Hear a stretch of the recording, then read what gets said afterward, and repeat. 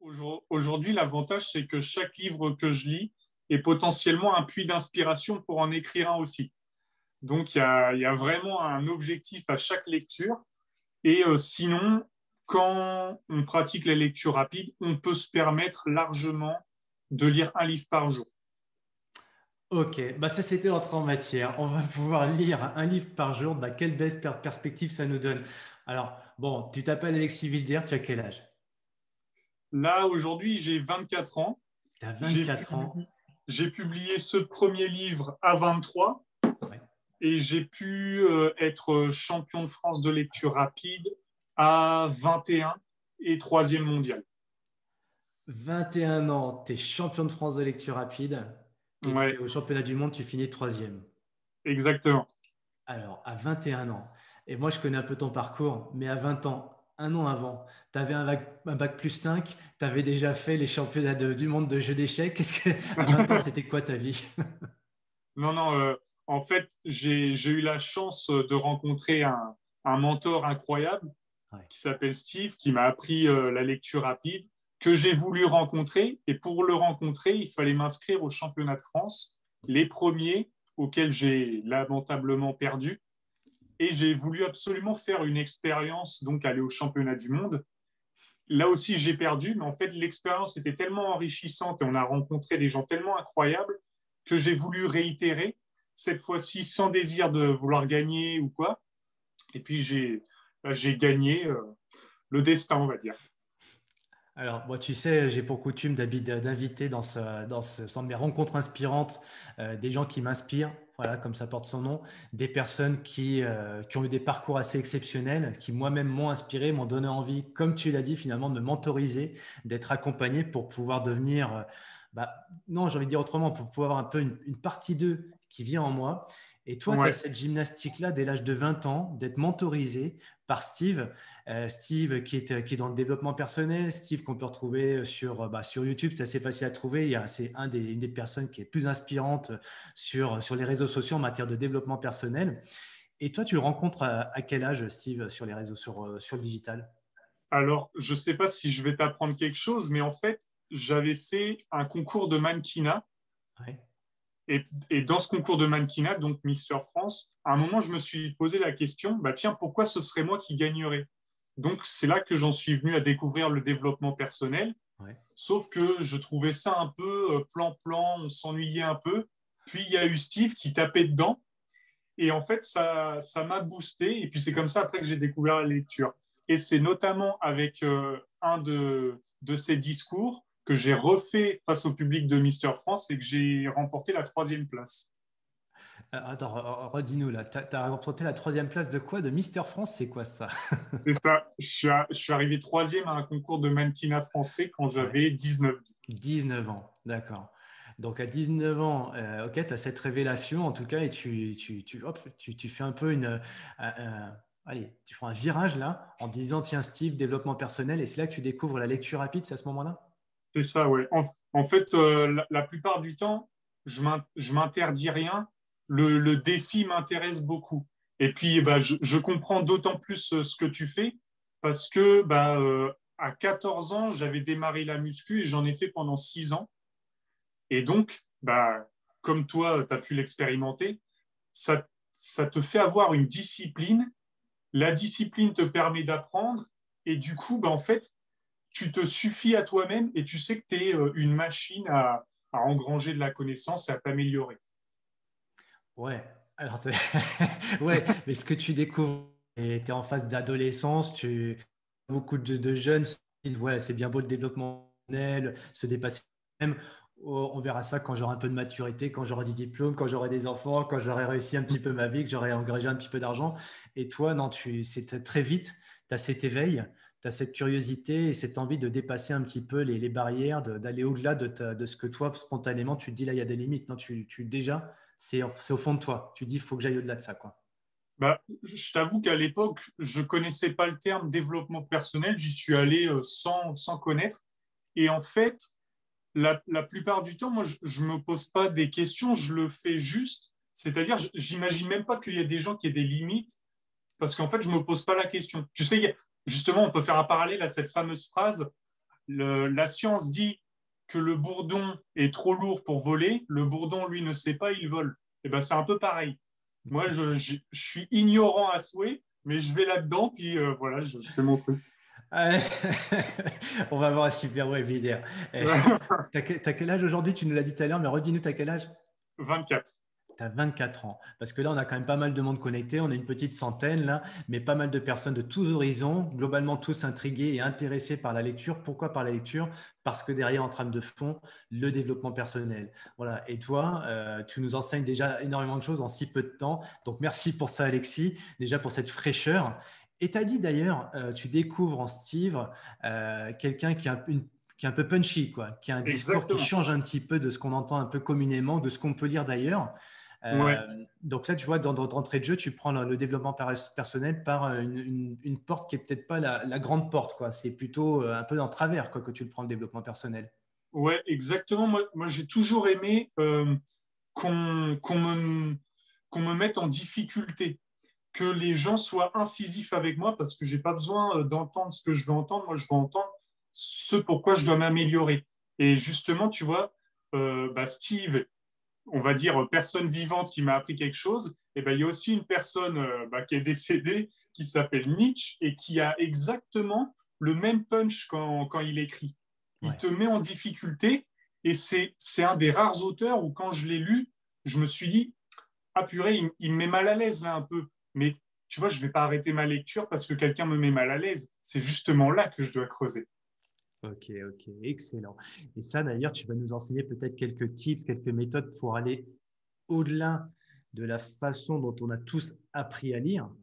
Parce que quelque part, quand on lit, et là je rentre dans le sujet, mais on va revenir sur toi, Alexis. Hein, euh, la lecture, quelque part, ça demande un effort de concentration, un effort d'attention, etc.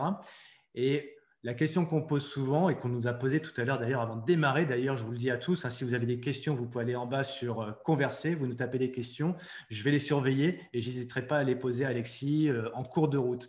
Et donc, dans la lecture, on est tous un petit peu confrontés à un scénario qu'on est en train d'imaginer, puis on divague, on se laisse un petit peu disperser. Et toi, tu vas nous enseigner des choses par rapport à ça pour ne pas se laisser, euh, entre guillemets, envahir par une zone de confort dans la lecture. Dans les lectures. Alors, toi, tu as commencé à lire d'ailleurs vraiment, véritablement dans, cette dynamique de, développement personnel à partir de quel âge? Alors, je crois que j'avais commencé à 20 ans. À 20 ans, j'ai commencé la lecture rapide. Trois ah, ans après, j'ai fini mon 1500e livre. Parce que entre temps tu es champion de France quand même. Ouais, c'est ça. C'était ta première participation? Non, j'ai participé deux fois. Et en fait, c'est pareil, on peut retenir une leçon de ça c'est que si j'avais gagné la première fois, je me serais dit, bon, bah ça y est, je me, je me suis entraîné six mois, je suis devenu meilleur, euh, je, traite tout le monde euh, avec le mépris et puis je me barre. Mais en fait, le fait d'avoir, euh, de m'être fait stopper et qu'on m'ait dit, bah non, en fait, t'es nul, recommence, alors que je m'étais vachement entraîné, et bah, c'est tout l'aspect de ne gagne pas trop tôt. Parce que si tu gagnes trop tôt, tu deviens suffisant. Excellent, excellent. Merci pour ça. Alors, je sens que vous avez plein de pépites. Hein, ça va être génial. Et euh, donc, premier championnat de France, tu, tu finis combien? Euh, je, dois finir dans le top 10 en France. Ah, donc, j'ai dû, faire top 8, il me semble. D'accord, d'accord. Correct, correct.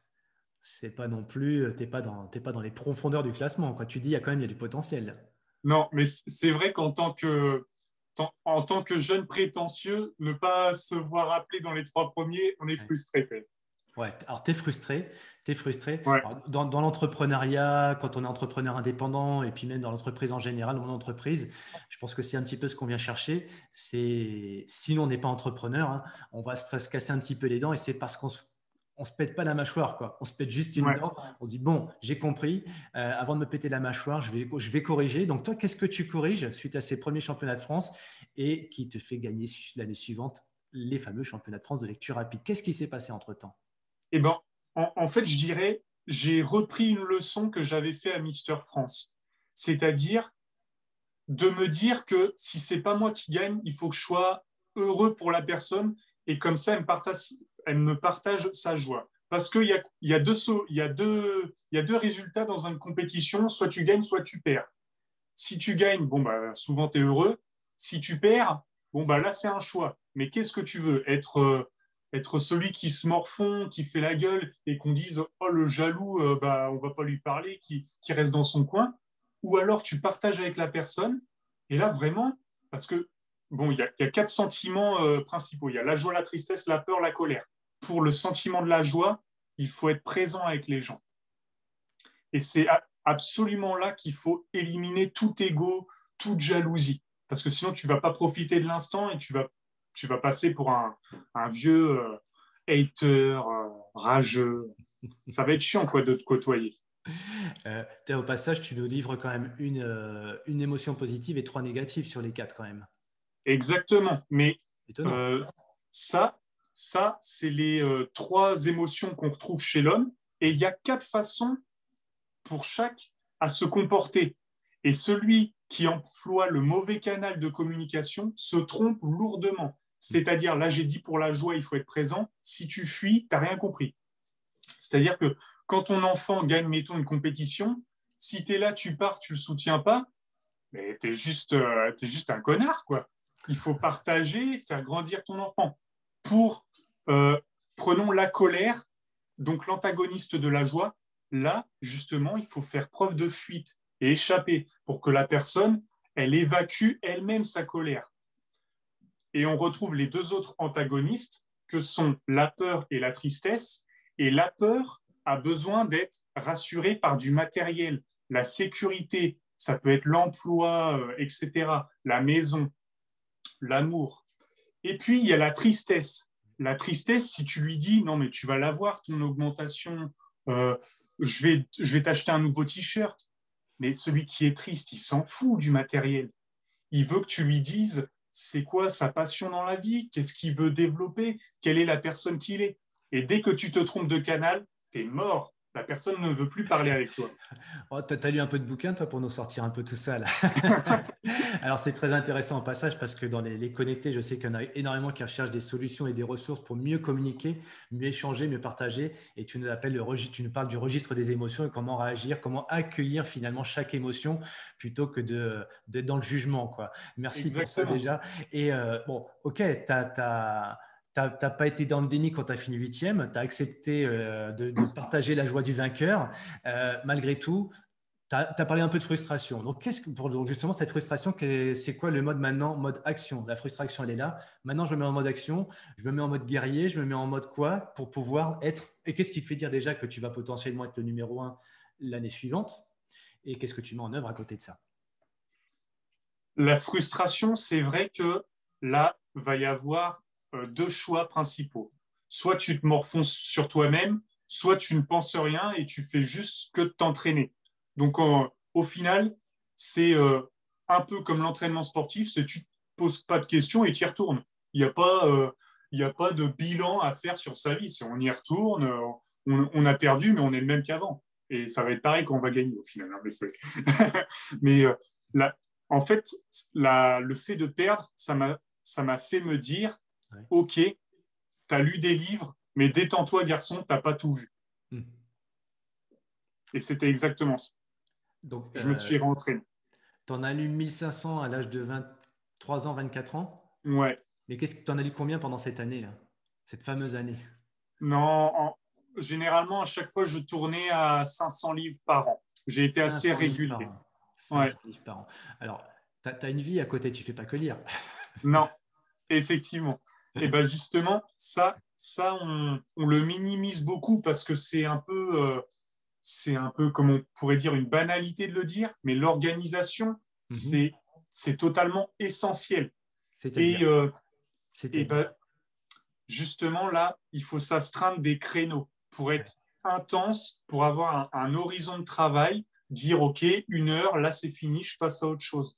Et ça, on peut le coupler avec... Euh, la vie amoureuse, l'entraînement sportif, la lecture, les passions, aller voir ses amis. Il faut savoir coupler tout. Malheureusement, euh, comme le dit la phrase, tout est poison, rien n'est poison, seule la dose est poison. Dans ce monde, l'équilibre est la clé. Donc tu t'organises Tu as une vie affective, tu as une vie professionnelle, et à côté de ça, tu, trouves, tu, te mets, tu te mets une discipline pour bouquiner. Donc, plus d'un livre par jour quand même. Ouais. Donc, sur cette année-là, euh, est-ce que c'est cette année-là que, d'ailleurs, cette année où tu lis 500 bouquins, est-ce que c'est cette fameuse année où tu découvres ta révélation, ton, ton best-of, ton meilleur livre? Ou c'était avant ou c'était après?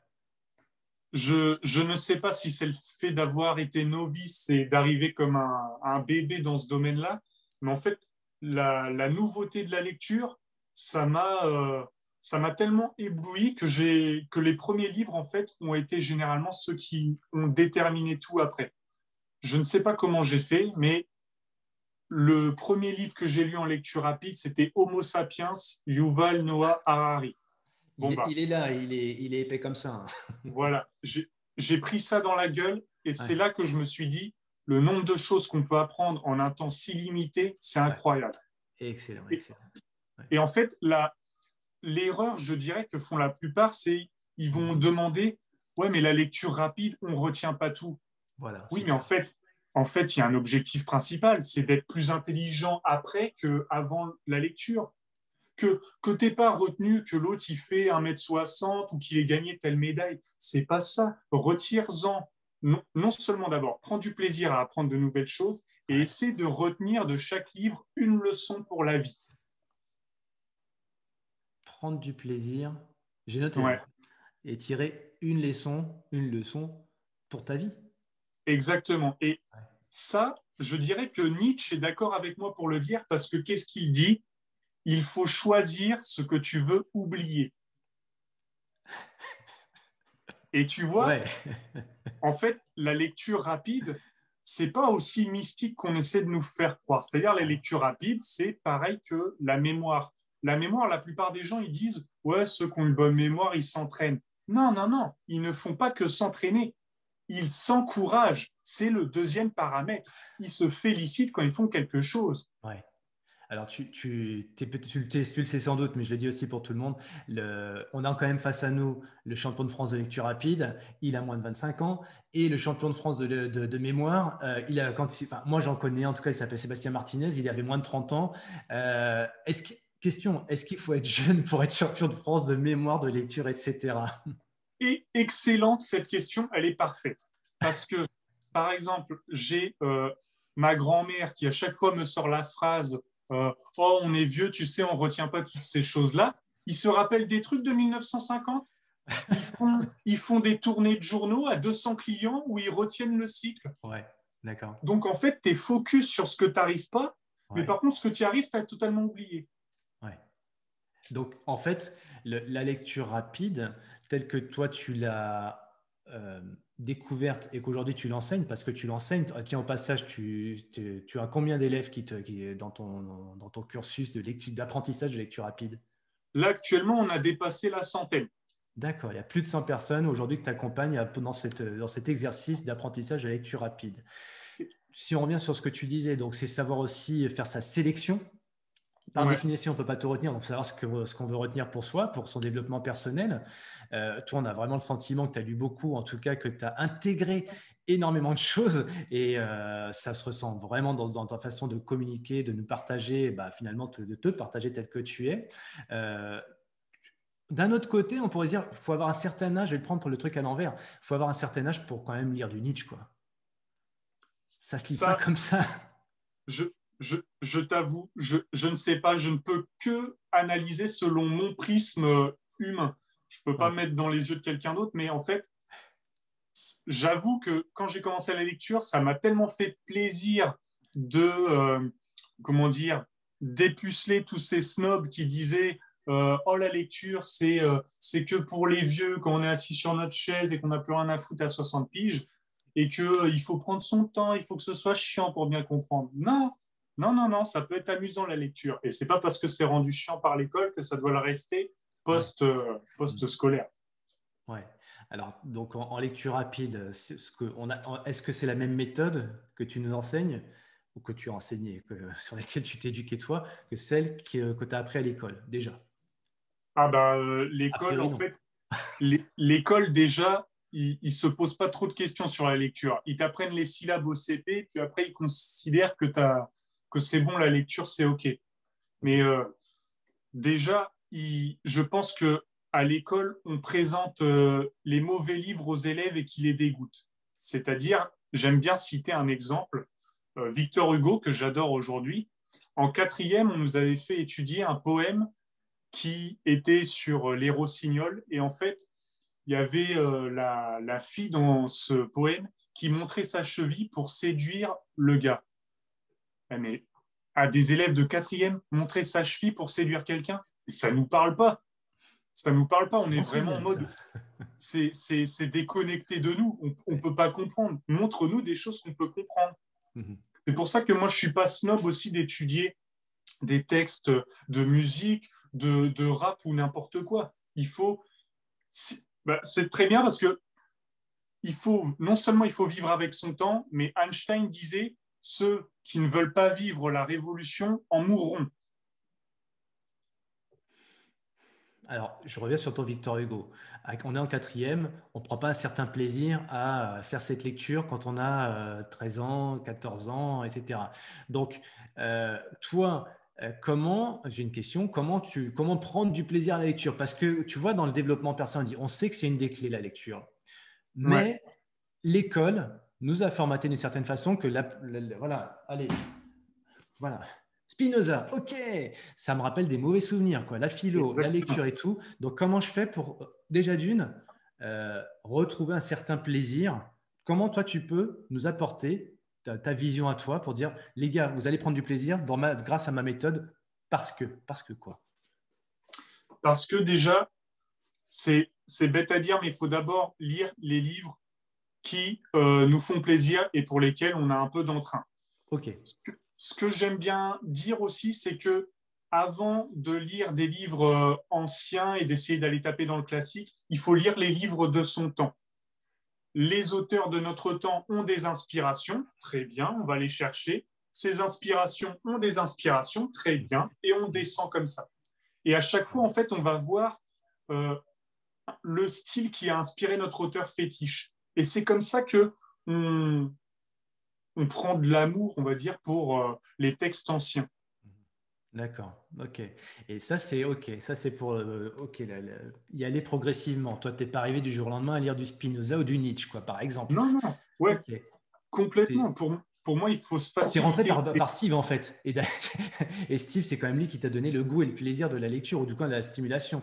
Euh, d'ailleurs, Steve, est-ce que tu peux rappeler, parce que j'ai une question euh, qui m'a été posée, Steve, euh, what else Est-ce que tu peux nous en parler en deux mots de Steve? Où est-ce qu'on trouve ah, Steve, Steve, si tu vois un mec sur scène qui a la tête de Booba avec des lunettes, c'est lui. on le trouve, euh, on tape quoi sur, sur, sur, si on veut le googliser, c'est quoi On tape Steve euh, Il me semble il faut taper, il faut taper by Steve, B-Y euh, Steve plus loin. Ouais. Et en gros, Steve, c'est l'organisateur des championnats de lecture qui va avoir lieu ce week-end, championnat du monde, et que du coup, j'ai eu le plaisir, avec d'autres camarades, on a eu le plaisir de coacher l'équipe de France. Et eh ouais, et eh ouais. D'ailleurs, je, je reviens après sur tes trophées. Je suis pas sûr que tu aies emmené ton trophée en, ton trophée en Bretagne. Je crois pas. Si? Ah, il a le trophée. Excellent. voilà, le trophée du champion de France de lecture rapide. Pourquoi d'ailleurs le, marteau? Pourquoi cette image de, euh, toresque? Le, le, marteau de Thor. Alors, il y, y, avait un ami, il m'a dit que le marteau s'appelait Mjolnir. Pour les fans, euh, ils sauront reconnaître euh, le nom. Mmh. Non, bah, le marteau, c'est pour s'émanciper du dogme actuel. Hein. Euh, les trophées, c'est euh, aseptisé, on n'a plus, aucun, goût pour. Il faut ramener un peu de guerre là-dedans. Il faut secouer les niches. Et quand même, un, marteau, surtout qu'en plus, c'est pas en toc. Hein. Il est assez lourd. Hein. Et euh, comparé à la médaille, quand même, le marteau, il claque. Oui, on, entend là que c'est pas du toc, hein, on entend. c'est pas du polystyrène. Hein. Ok. Et euh, pour revenir un petit peu sur le, côté, euh, le plaisir, redonner du plaisir à la lecture. Tu vois, quand tu, quand tu m'as expliqué, moi, je t'avais posé la question la première fois, il y, a, il y a deux ans de ça, si je dis pas de bêtises. Mais tiens, euh, comment tu fais? Alors, tu m'avais expliqué, mais moi, ce que c'est pas tant la méthode de, de la lecture rapide qui m'intéresse, mais euh, retrouver du plaisir, ce que tu as dit tout à l'heure, c'est finalement si tu sais ce que tu viens y chercher et que tu en retires X pourcentage de, ce livre pour toi, de connaissances, d'expérimentation, de, de, substances, etc., c'est vrai que c'est déjà énorme en soi. Donc toi, la lecture rapide, on a un peu le on, on peut avoir spontanément euh, la crainte ou du moins l'objection, oui, mais lire rapide, tu vas rien retenir. Donc toi, ta méthode, elle permet de lire vite, mais est-ce qu'elle permet de comprendre mieux? Alors, j'aime bien prendre ce parallèle, c'est-à-dire quand Édouard Philippe était encore là, il nous avait sorti un, bon truc, c'était les 80 km/h. Mais tiens, pourquoi la plupart des, des Français étaient contre les 80 km/h C'est une question, ça. Eh bien, c'est tout simplement parce qu'à 80 km/h, tout le monde se fait chier. Et ça peut même avoir l'effet inverse, ça peut causer plus d'accidents parce que les gens s'ennuient et regarderaient trop et seraient trop tentés de regarder le paysage. Que quand tu es focus, quand ça va un peu vite, et ben là, là, tu es concentré et là, tu es plus dedans. Et ben, ce serait un peu pareil avec euh, la lecture. Mais pour moi, c'est dans toute discipline qu'on retrouve ça. C'est-à-dire, il y a un seuil bas que tu dois surmonter pour que ce soit intéressant, comme il y a un seuil haut où euh, là, euh, si tu le dépasses, tu ne vas plus rien comprendre. Mais en fait, ce qu'il faut comprendre aussi, c'est que la lecture rapide, tu vas arriver à, une certaine vitesse, mais c'est comme avec une moto. C'est un super exemple que tu prends, Alexis, parce qu'en fait, ceux qui me posent des questions, là, je les connais, hein, et ils aiment la vitesse, ils aiment les voitures qui vont vite. Alors ça, ça va carrément leur parler. Je pense que toi, tu me dis, en fait, plus on va vite, plus on est vigilant, plus on a un effort de concentration, c'est ça? Exactement. Et en plus, si on garde le, parallèle des voitures, imaginons, on regarde une course de voitures. Mm. Elle est diffusée à la télé et c'est pas diffusé dans combien de temps bah, à quel tour ils sont, dans combien de temps ça va finir, que les gars, ils sont juste en train de rouler. Mais au bout de cinq minutes, on quitte le machin. C'est mm. chiant. Parce qu'il faut un horizon de fin. C'est comme, euh, c'est comme la métaphore avec le taxi. Tu rentres dans un taxi, tu lui dis pas Bon, allez, on roule. On va où? Ben, Je sais pas, euh, roule-moi. Non, il y a un horizon, il y a une destination. D'accord. Donc la destination, quand on va lire un bouquin, ce que tu nous disais tout à l'heure d'ailleurs, c'est qu'est-ce qu'on vient y chercher? Voilà. Hein, déjà? Qu'est-ce que je veux retirer comme enseignement de ce livre? Alors, soit en termes de développement personnel, de méthode, acquérir une méthode. Euh, et finalement, l'auteur, quand il écrit son bouquin, lui pense quelque chose d'assez complet. Donc, toi, la lecture rapide, est-ce que c'est lire en gros euh, une page sur deux? Est-ce que c'est lire en diagonale? Est-ce que c'est lire tout vite? C'est quoi en gros les, grandes lignes d'une lecture rapide? Comment tu comment opères Parce que tiens, d'ailleurs, si tu peux reprendre ton, ton livre, qui a l'air petit comme ça, mais moi je l'ai à la maison et je ne l'ai pas fini. Euh, tu peux montrer d'ailleurs comment c'est écrit à l'intérieur?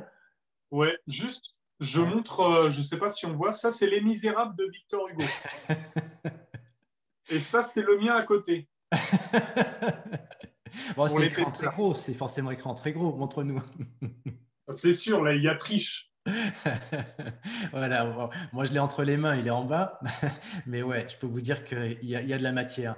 Et, donc voilà, sur un livre comme celui-ci, donc toi tu nous racontes une histoire aussi, on est très dans la de quelque chose de très nichien, la nature, le ouais. etc. Bon, j'en dis pas plus, mais si je prends ton livre, est-ce que je dois lire page par page, ligne par ligne? Est-ce que je saute des lignes? C'est quoi en gros les quelques clés que tu peux nous partager? Alors, je, je ne sais pas exactement comment font les autres, mais mhm. pour ma part, j'estime que je lis tout. C'est-à-dire que je procède ligne par ligne. Tout simplement comme, euh, mettons, un viseur de sniper sur Call of. Ben voilà, je fais ma cible et à chaque fois, j'ai un, un mot qui vient. Et je suis toute l'histoire comme ça. Alors, comme je disais à, ceux qui s'entraînent pour les championnats, mhm. euh, ils nous parlaient souvent de. Euh, ils parlent dans leur tête quand ils lisent. Mais je suis désolé, mais des, mots comme magnifique, fantastique, tu n'as pas besoin de le lire dans ta tête. En le voyant, ça suffit parce que le mot est tellement commun. Peut-être qu'il est à rallonge, mais on l'a tellement vu qu'on n'a pas besoin de le lire. Mhm. Et en fait, plus, plus on va lire et plus les mots, les tournures de phrases vont être banales dans notre cerveau et ça va mieux passer à chaque fois. D'accord. Et donc, en gros, ce que tu dis, c'est contrairement à ce qu'on a peut-être appris à l'école, c'est il faut lire mot à mot, comprendre ce chaque, euh, etc. Toi, à un moment donné, dans ce que tu viens de nous dire là, il n'y a pas forcément cet effort de compréhension. S'il y a des mots qui viennent et ça, la, compréhension se fait automatiquement sans qu'on ait un processus de, de tu rationnel. C'est comment ça se passe concrètement dans ta tête, toi? Parce que bon, on va pas parler de cerveau gauche, neurosciences, etc. Mais en gros, toi, qu'est-ce qui fait qu'à un moment donné, comme peut-être en, voiture, quand tu vas super vite et c'est super grisant, tu as l'impression qu'en fait, bah, tout se fait automatiquement. Finalement, tu ne penses pas le volant, tu ne penses pas la pédale accélérateur, tu ne penses pas la main. Non, tout se fait à peu près automatiquement et tu es dans l'instant présent. Donc, comment toi, tu, à un moment donné, arrêté Comment tu bascules de ce qu'on a appris à l'école à, euh, allez, je dis autrement, comment tu, euh, comment tu hackes ton cerveau, quoi, se hacker le cerveau. Allez, c'est comment tu fais ça? Déjà, il y a euh, une contradiction dans la lecture normale, c'est-à-dire ils, lisent à 30 cm, les yeux comme ça, en même temps qu'ils voient la page, ils sont en train de se réciter une ligne dans leur tête. Mhm. Donc en fait, ça va pas. Ils sont à la fois dans le détail et la vision globale que nous, en lecture rapide, mhm. il y a un des premiers outils, ce serait le guide visuel, où en fait tu suis ta lecture et quand tu astreins une certaine vitesse à ton guide visuel, les informations rentrent à la même vitesse. Ton cerveau n'est pas surpris. On a beaucoup de tests sur YouTube où on a des vidéos où il y a marqué, euh, je crois que un mot, et en gros, ils se succèdent tous. Et on voit que le cerveau est capable de comprendre. Autre, euh, autre euh, preuve que, que, lire dans sa tête, ça, ça ne marche pas forcément. Il y a un truc qui s'appelle l'étude de Cambridge, avec un texte où les, les lettres sont totalement inversées, mais le cerveau fait de lui-même un travail inconscient pour lire. Hmm. Ouais, on a tous fait l'expérience les, les, à un moment donné de, voir de dire des phrases sans, sans voyelles où, euh, où, il manque des choses. Et finalement, euh, si on était, comme tu dis, dans, un, dans une approche scolaire, le cerveau s'arrêterait point quoi, et comprendrait pas. Sauf qu'en fait, la réalité, c'est que si tu, tu, imposes un petit peu à ton cerveau cette. Euh, alors, ça peut être avec ton doigt, ça peut être une ligne, ça peut être un stylo qui te, qui te guide. Et d'ailleurs, c'est quoi, toi? Tu, Soit ta méthode à toi, si tu en as une? Il y a, y a, plus. Oui, les gens, faut qu'ils testent euh, à peu près ce qu'ils veulent. Il y, en, y, en, a, ils utilisent euh, un stylo. Ça peut être une carte aussi pour euh, se couper mm. le texte d'en bas. Mm. Ça, peut, ça peut être ça. Je ne sais pas mm-hmm. si on voit. Ouais, ouais. C'est une baguette chinoise, bout rouge, ça sort sur le texte. Et il y a il y a plein de méthodes comme ça en fait. Par exemple, sur un grand livre, il faudrait plutôt utiliser donc euh, baguette chinoise euh, stylo. Et sur un petit livre, bon, bah, moi je conseille tout simplement d'utiliser un de ses doigts parce que bah, c'est plus, plus flex, plus petit. Et euh, en gros, ce, ce, focus comme ça sur la lecture, non seulement ben, ça permet de domestiquer ton cerveau, de l'apprivoiser, et en même temps, bah, l'étude de Cambridge nous, prouve bien qu'il faut savoir faire confiance à son cerveau. Comme je l'ai dit pour euh, ceux qui s'entraînent pour les championnats, quand vous allez avoir le questionnaire, à chaque fois, vous êtes passé devant la réponse. Donc faites confiance à votre cerveau parce que la réponse, vous l'avez forcément lue. Mm-hmm. C'est une évidence. Et, et on ne le dit pas assez, mais cette confiance, donne quand même les armes pour s'en souvenir. On a deux exemples. Le premier, une personne joyeuse.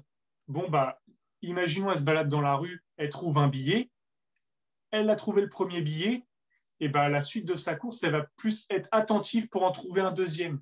Tandis que la personne triste n'aurait déjà pas vu le premier parce qu'elle est renfermée sur elle-même, parce qu'elle se morfond.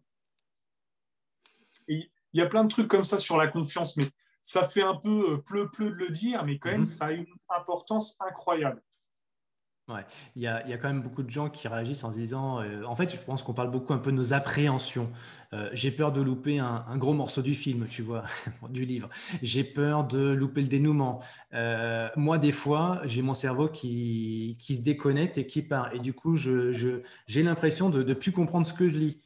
Euh, voilà, tu vois, c'est des appréhensions, ça peut être des réalités aussi. Toi, par rapport à ça, tu, ta méthode nous garantit qu'en gros, tu arrives à mettre le focus sur euh, l'attention. moi, je sais que oui, parce que je sais tes résultats. Euh, et la preuve en est, c'est que tu es champion de France et que tes élèves sont en train de passer les championnats de France et du monde. Maintenant, quand même, la question, c'est d'ailleurs ces championnats de France, championnats du monde. Donc, il y a de la rapidité, mais il y a aussi de la qualité Comment on mesure la qualité pour répondre d'ailleurs à ceux qui appréhendent le fait de louper le dénouement, de ne pas tout comprendre, etc. Parce qu'il y a bien la partie qualité qui est évaluée. Oui, au, championnat, en mhm. fait, ils essaient d'avoir un livre qui n'a jamais été publié. Comme ça, tout le monde commence à la même hauteur. Il n'y a pas de, risque un tel élu l'auteur ou etc. Et après, donc, euh, on arrête le chronomètre, on dit euh, donnez-moi le questionnaire. Il y a un questionnaire, c'est souvent 20 questions ouvertes. Et en gros, bah, à chaque fois que tu as une bonne réponse, tu as 5%, as 5 de compréhension. Si tu réponds au 20, tu as 100%. Si tu réponds à 10, tu as 50%. Et en fait, ils font un prorata euh, vitesse, c'est-à-dire nombre de mots par minute, fois ton pourcentage de compréhension. Donc, si tu as lu à 1000 mots par minute, qui équivaut à 200 pages en une heure, et que tu as eu 70% de compréhension, tu as un score de 700. Ok. Donc, globalement, ce que tu nous dis là, c'est qu'à peu près, on a au minimum 70% de compréhension grâce à ta méthode d'un livre, quoi, en fait, quel qu'il soit. Là, c'est ce que j'ai vu, en fait, parce que quand, quand on l'expérimente soi-même, on peut douter, on peut se dire, bah, ça se trouve, les gens, ils n'y arrivent pas, il n'y a, a, que moi qui arrive, je ne sais pas vraiment. Et puis, souvent, ils n'arrivent pas à mesurer leur compréhension. L'avantage, c'est que moi, mes élèves, je les pousse dans un programme où ils lisent 30 livres en 30 jours.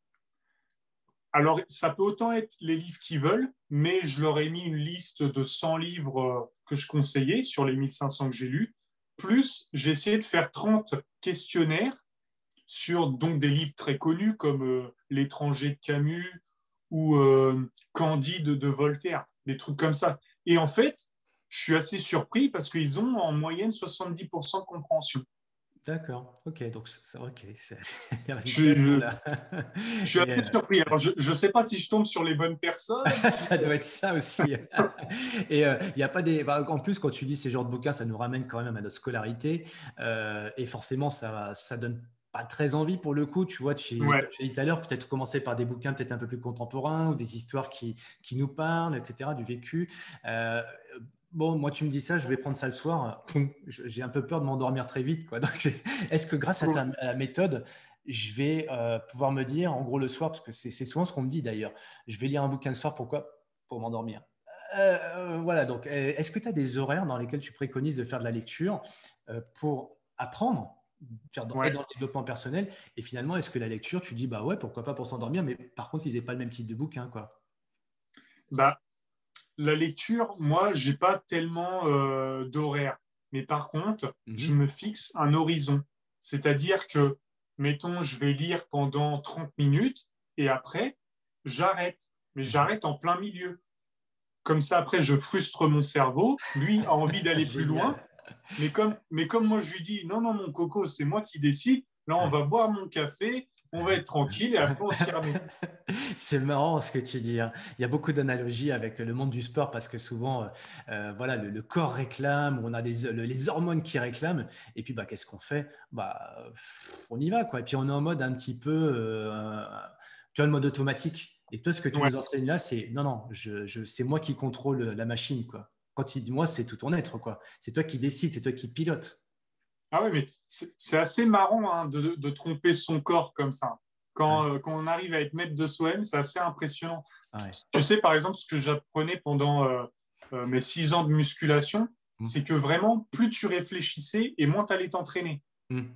Donc, en fait, il y a des endroits, certes, où il faut réfléchir, mais il y en a où réfléchir est plus un inconvénient qu'un avantage.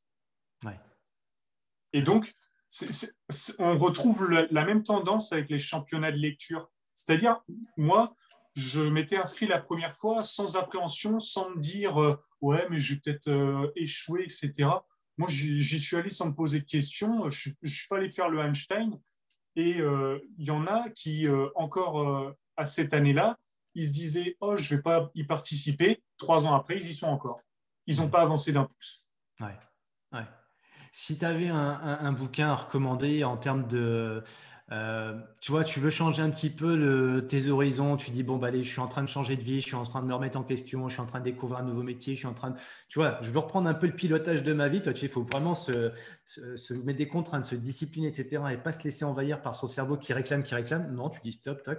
Je vais faire une analogie avec la vie, euh, la vie tout court. Bah, tiens, quelqu'un qui a 20 ans, 30 ans, 40 ans, peu importe, se dit, je veux changer de vie. Qu'est-ce que tu préconises comme bouquin pour l'aider à son, à son changement, à cette transition? Ah, le, bouquin, j'ai envie de oser un bouquin qui n'est pas très connu et que par chance, un de mes élèves m'a cité tout à l'heure tout au hasard et je lui ai fait ce livre est inconnu du grand public et il est incroyable. C'est Anthony Demello qui l'écrit et c'est le livre La conscience s'éveille. Alors, un, ce n'est pas vraiment un livre de développement personnel, comme ce n'est mhm. pas vraiment un roman. On va dire c'est euh, un auteur qui nous livre des petites histoires comme ça par chapitre, mais qui sont vraiment incroyables. Michel Demello, euh, non, Anthony Demello, incroyable. Ok. Euh, moi, je vais faire un peu d'analogie par rapport à, moi, mon modèle économique. Mon modèle économique, moi, je suis, enfin, je suis dans la sophrologie, ça c'est mon cœur de métier, la santé des gens, etc. Mais à côté de ça, je suis dans, dans, un, dans une activité où j'aide les gens à développer leur propre activité, à devenir leur propre entrepreneur de leur business, mais en quelque part aussi de leur vie. Euh, nous, on leur partage beaucoup. Tu as un bouquin qui s'appelle, je ne sais pas si tu l'as. Bon, je pense que tu l'as lu, hein, celui-ci. Ça te parle, ça? Non, je ne connais pas. Oh, non, tu le connais quand même, cet auteur Kiyosaki. Ah oui, oui, je connais. Ah ouais, Père, Père, Père Père pauvre, tu l'as. Tu l'as. Père Père pauvre. Ouais, ouais, j'ai lu. Ok. Euh, donc, tu vois, nous, on préconise, enfin, je dis nous, moi, en tout cas, je préconise souvent celui-ci parce que ça permet d'ouvrir, ça permet un petit peu de, de s'ouvrir à quelque chose qu'on a, qui n'est pas notre modèle, quoi, en fait. On a un modèle dans la vie. Toi, tu l'as dit tout à l'heure, dans la lecture, on nous apprend un modèle.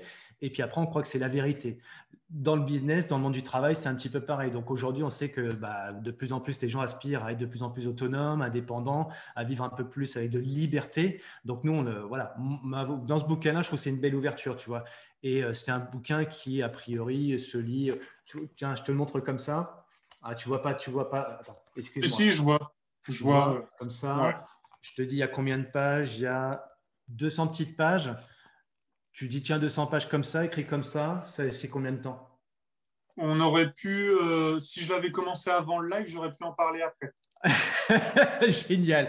Donc voilà, donc grâce à ta méthode, ce genre de bouquin, on se dit 200 pages écrit comme ça, j'en ai pour euh, une semaine. sauf quoi, tu lui dis bah tiens, ça peut être une demi-heure. Tu vas peut-être lire déjà un quart. Et si c'est une demi-heure euh, pendant deux jours, ça fait 3, 4 temps, 4 ans, 4 ans, gros, en deux jours, je l'ai lu quoi toi, tu lis en 30 minutes, mais on n'en est peut-être pas encore là. Mais ta méthode nous permettrait de lire en une petite heure. Quoi.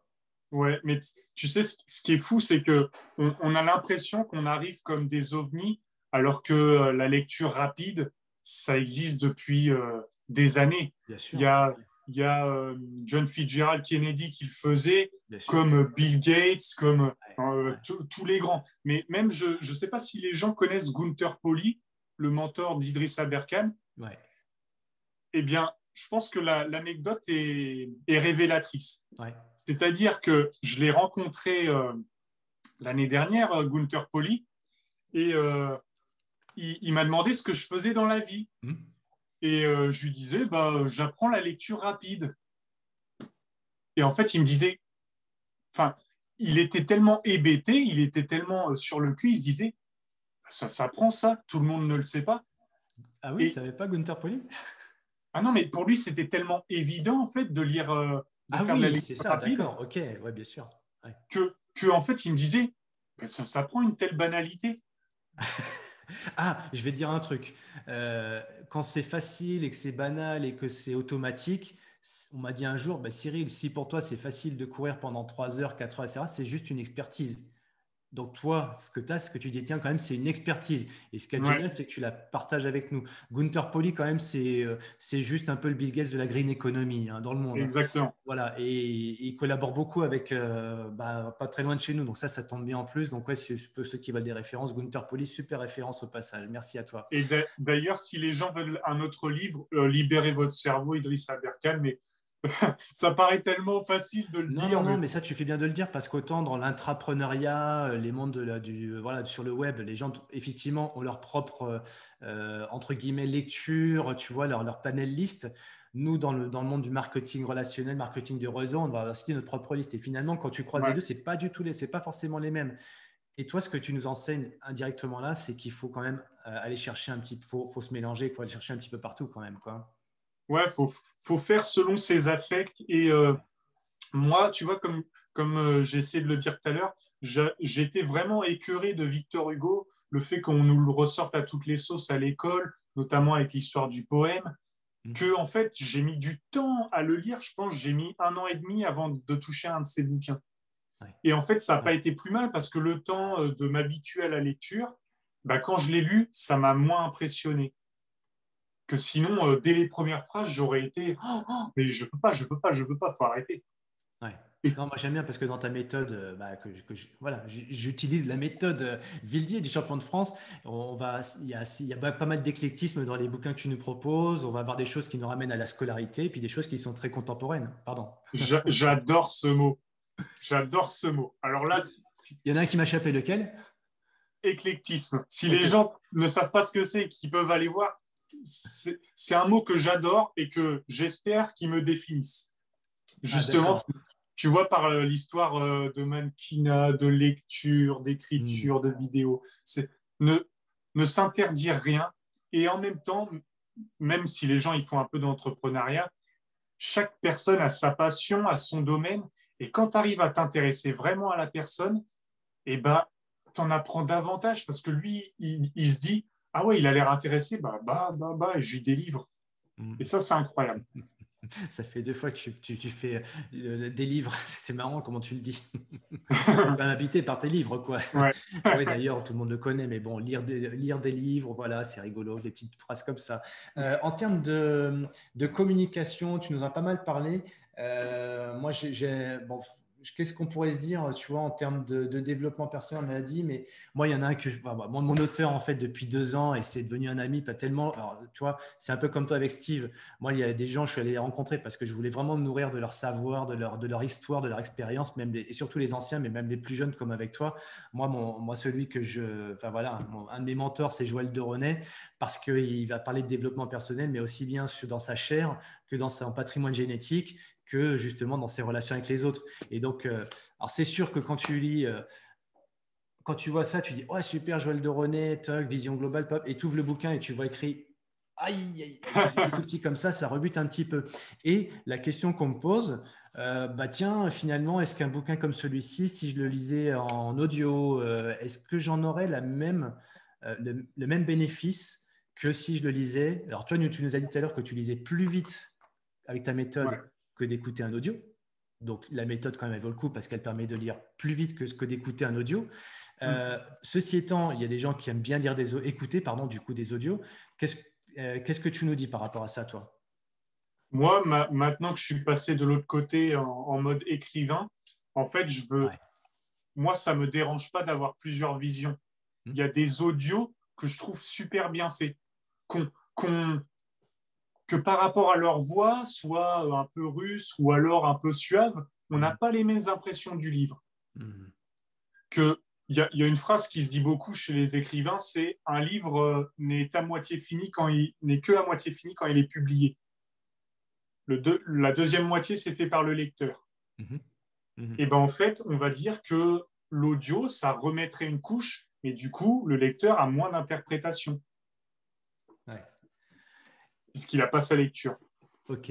Il y a dans, dans matière de. Enfin, du coup, moi, je suis en train de penser à mon prochain livre que je vais pas, pas comme toi, hein, parce que toi, tu es auteur. Tu en as combien de livres d'ailleurs?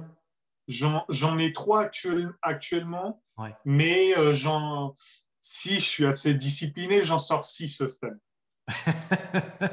donc on les trouve euh, sur des circuits tels euh, Amazon pour, euh, voilà, pour contrarier ah. ceux qui sont purement sur des approches traditionnelles en librairie. Mais toi, on va trouver comment? Ouais, c'est sur Amazon parce qu'avec Amazon, on a la chance quand même que Amazon publie des auteurs qui n'ont pas de maison d'édition en gros. Donc tu as auto-édité tes bouquins. Exact. Et, et, au final, tu vois, ce que, ce que je pouvais douter, c'est que la, la qualité soit moindre, mais honnêtement, je trouve que c'est super propre. Surtout qu'en plus, le format de poche, parce que je ne sais pas si euh, les gens voient, mais ça, ça, a exactement le format de poche. Amazon ne le proposait pas, c'est moi qui leur ai imposé la taille. Mmh. Et ils arrivent quand même à le faire. C'est assez phénoménal, je trouve. Ouais.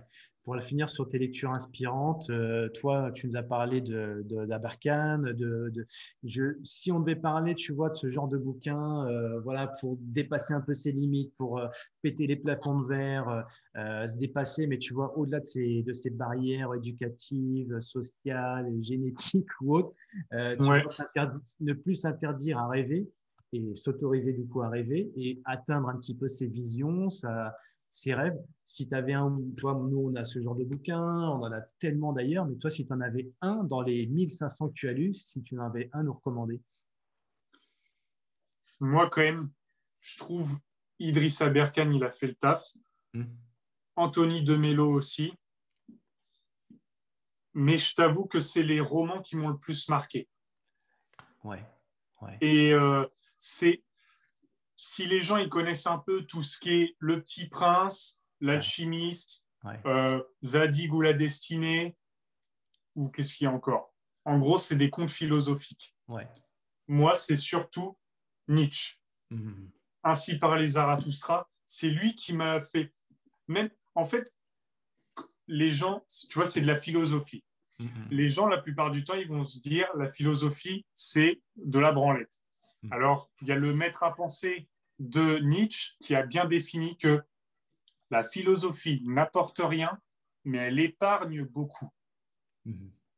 La capacité de reconnaître les problèmes sur lesquels tu as une influence et sur lesquels tu n'en as pas. Tout ce, tout ce genre de choses. Et eh ben, Nietzsche, avec sa philosophie, m'a aidé à beaucoup de choses. Ok, tu, nous réconcilies avec les bouquins qu'on a appris, euh, enfin qu'on a, qu'on nous a obligés à lire quand on était en terminale, tu sais, en, philo. Et finalement, on a as une deuxième lecture de ces bouquins qui n'est peut-être pas la même qu'on avait quand on avait 17, 18 ans, quand on a aujourd'hui peut-être 25 ans comme toi, ou 24 en tout cas, ou 40 ou 50. Exactement. Mais par exemple, Nietzsche, qu'est-ce qu'il qu'est-ce qui dit? Connaître, c'est comprendre toute mm. chose au mieux de son intérêt. Mm c'est plein, c'est plein de petites phrases comme ça qui, qui résonnent. Il, y a, il fait une autre métaphore, par exemple, c'est je, il parle à un de ses personnages dans le livre, il fait Je veux que tu montres patte blanche, mais que cette patte ait des griffes.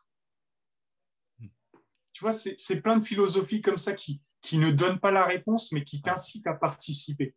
Ah, ok, ok. Et finalement, oui, le, développement personnel brut de brut, c'est peut-être un peu finalement des méthodes, des partages d'expériences, etc. Mais toi, tu, nous amènes un peu plus loin en, nous amenant à, à penser et à, avoir un peu notre propre arbitrage, notre propre sensibilité par rapport à ce qu'on va lire, décrypter et interpréter, et puis à, s'approprier quelque part. Complètement, mais tu sais, moi, moi, je pense quand même beaucoup que euh, le le développement personnel, c'est un mhm. film plastique sur la philosophie. C'est-à-dire, ça cache un peu de philosophie. Ça essaie de faire un truc qui se dit plus abordable, mais en vrai, c'est quand même pas mal de philosophie, je trouve. Quand on nous parle des stoïciens, tu vois, comme je te disais tout à l'heure, avec euh, le fait de reconnaître les problèmes sur lesquels on a de l'influence, mhm.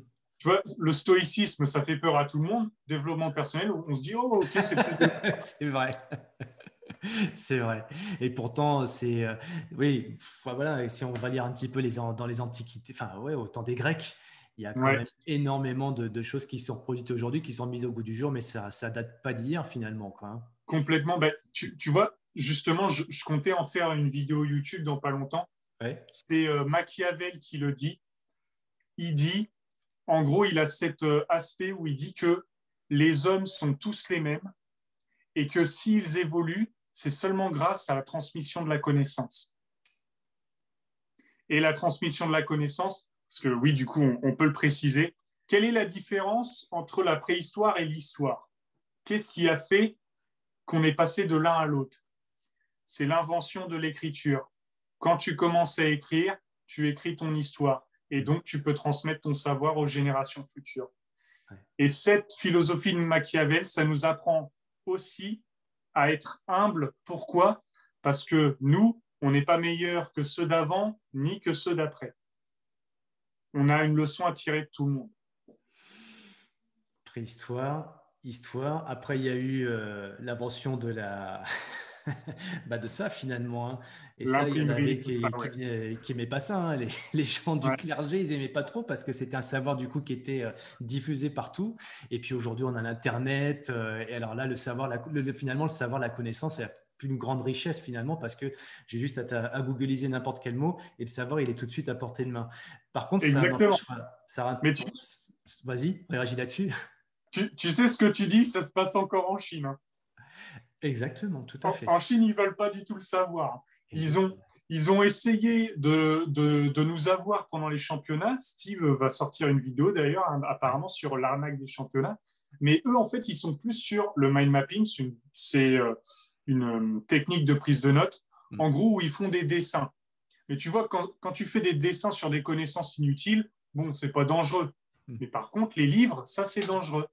Calmez-vous sur les livres. Ne, ne lisez pas trop, quand même. C'est ça en Chine. Exactement, c'est vrai. Il faut, relativiser un petit peu le monde dans lequel on est d'un point de vue géographique, culturel, et puis aussi reprendre un petit peu de recul par rapport à l'histoire et, se rendre compte du plaisir qu'on a. Merci en tout cas du plaisir que tu nous partages, parce que pour moi, c'est un vrai plaisir de t'écouter.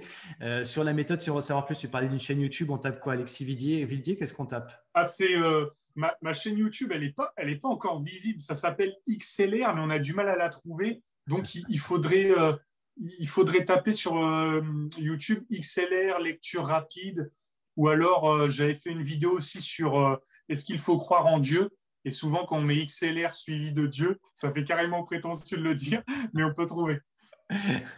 En tout cas, tu peux faire ça parce que je le mettrai de toute façon dans le, dans le replay.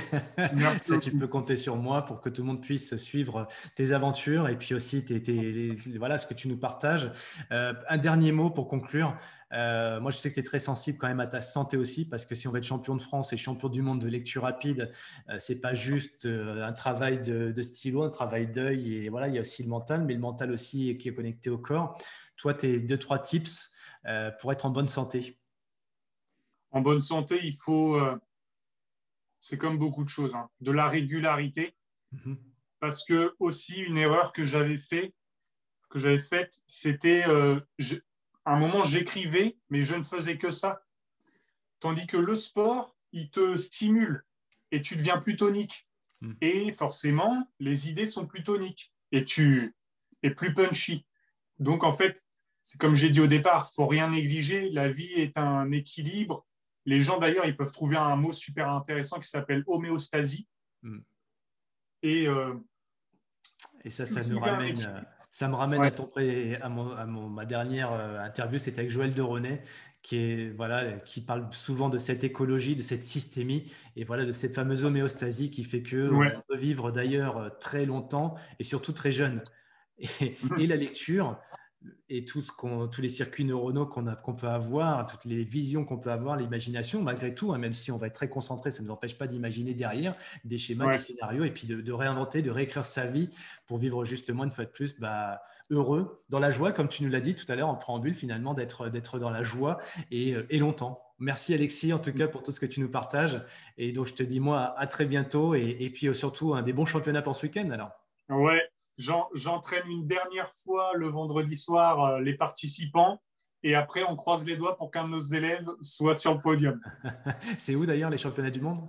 Ça se passe en ligne et du coup bah, ça, ça, va se passer euh, le samedi. Normalement le après les après l'Eurovision, les championnats du monde de lecture rapide, on sera sur un sur du, du meilleur niveau quand même. Merci Alexis.